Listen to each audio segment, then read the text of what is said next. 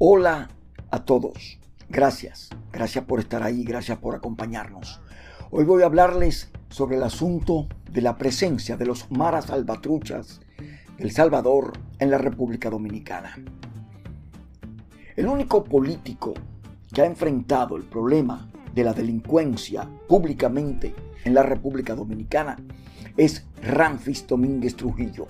Los demás políticos se han quedado callados y se han quedado callados porque tanto el Congreso como la Cámara de Diputados tienen gente en su interior que en nada han favorecido la moral y los principios de la República Dominicana.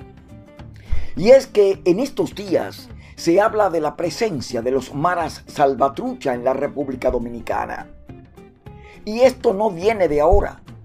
Desde el 2016, los maras salvatruchas han estado visitando la República Dominicana. La República Dominicana es un país que no tiene normas ni tiene reglas en cuanto a migración se refiere. Somos un estado fallido no de ahora, hace mucho tiempo. En el 2020, un Mara Salvatrucha fue hecho preso en Bonao. El delincuente salvadoreño, miembro de la Mara Salvatrucha M13, fue capturado en Bonao, República Dominicana. Era residente del municipio de Soyapango, en El Salvador, y responde al nombre de Mario Ernesto Peña Colocho, alias Dreamer, quien tenía orden de captura por distintos delitos, entre ellos sicariato, algo que sigue creciendo en Dominicana en estos días. Según los registros, el sujeto era buscado desde el 2014 por el delito de agrupaciones ilícitas en El Salvador. Mario Ernesto, que es el nombre del delincuente, era uno de los delincuentes más buscados en El Salvador debido a su alta peligrosidad. Los agentes que le detuvieron en Bonao le ocuparon más de 70 gramos de marihuana, una computadora portátil y un celular. Y es que a la República Dominicana no solamente van delincuentes de esta calaña, van de todas las categorías, desde el más pequeño hasta el más alto, porque la República Dominicana es un estado fallido, repito, pero más que eso, es un paraíso fiscal fue de República Dominicana donde salió por lo menos uno de los que se estrellaron en las Torres Gemelas de Nueva York. Mohamed Atta había cenado dos días antes en Puerto Plata. Fue de la romana que salieron los terroristas que dieron muerte a un grupo de periodistas de caricatura en Francia. Y hay delincuentes de todos los tipos, pero no hay voluntad en el país de enfrentar la delincuencia porque la migración dominicana no tiene una estructura, no tiene un mecanismo y porque el dominicano cuando llega al sólido del poder solamente va en busca de dinero. Somos primero muchas cosas. La delincuencia en España, una gran parte la manejan delincuentes dominicanos.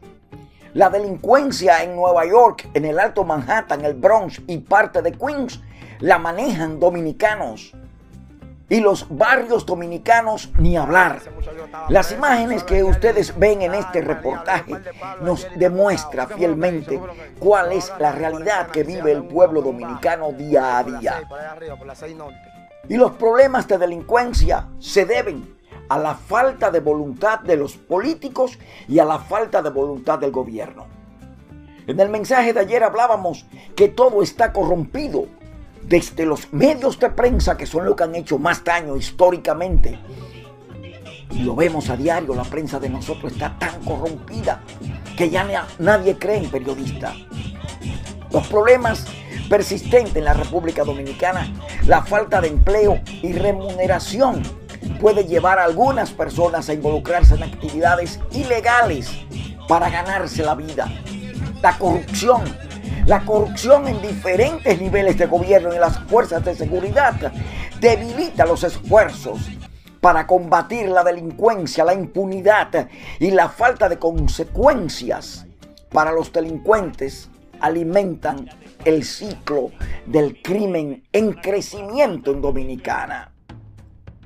Los desafíos en el sistema de justicia. El sistema de justicia dominicano enfrenta desafíos en términos de recursos limitados, falta de capacitación adecuada y demoras en los procesos legales. Esto puede llevar a la impunidad y al desaliento de las víctimas de delitos. Hay miles, miles de videos en las redes sociales donde se aupa la delincuencia. Incluso Telemicro, que es un canal de cierta importancia de televisión, tiene los fines de semana, al menos para Nueva York, programa donde se aupa y se incentiva la delincuencia. Y es una vergüenza, una pura vergüenza que el gobierno esté más pendiente en si se va a reelegir el presidente Abinader o si fulano, si mengano, si Ramfis Domínguez Trujillo no es ciudadano que enfrentar los problemas reales que vive el país. Todos, todos debemos abordar este problema. Se requiere una estrategia integral que incluya medidas de prevención, fortalecimiento del sistema de justicia, inversión en la educación y programas sociales, así como esfuerzos para combatir la corrupción y el narcotráfico. Es algo que se hace urgente y necesario. Y más que urgente y necesario, se hace casi obligatorio que el gobierno dominicano asuma el control de los medios audiovisuales para detener la avalancha y el festín que existe con relación a la falta de control en los medios del país. Son los medios, son la prensa y la propia educación en las escuelas que no han permitido que el país crezca. Basta ya de tanta politiquería y meternos de lleno a resolver problemas que más temprano que tarde nos van a hacer daño. El mayor daño no lo ocasionan los haitianos. El mayor daño lo ocasiona la prensa que silencia la verdad. La prensa que por unas cuantas monedas se plagan al mejor postor. Los dueños de medios, radio, periódico, televisión que se hacen de la vista gorda. El gobierno que no asume su responsabilidad y un liderato cada día más famélico, más pobre y más desajustado de la realidad que vive nuestra patria. Gracias. Hasta nuestro próximo comentario amigos. No se olviden de compartir con sus amistades, de darle eh, like y a la campanita completo para que sigamos creciendo, sigamos llevando más mensajes como esto para orientar a nuestra gente que prácticamente está sola y abandonada. Dios con todos. Hasta entonces.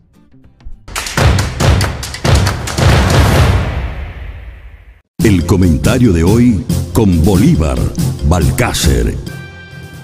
Cada día llegamos a esta plataforma para brindar información rápida, veraz y completa sobre toda la actualidad internacional guerras y conflictos, política, deportes, espectáculos y avances en los campos de la salud, la ciencia y la tecnología. Emitimos permanentemente desde la emblemática ciudad de Nueva York. Nuestro personal está donde quiera que estés. Amparados en la ética periodística, producimos periodismo de alto nivel. De ahí que lo que decimos hoy es historia mañana.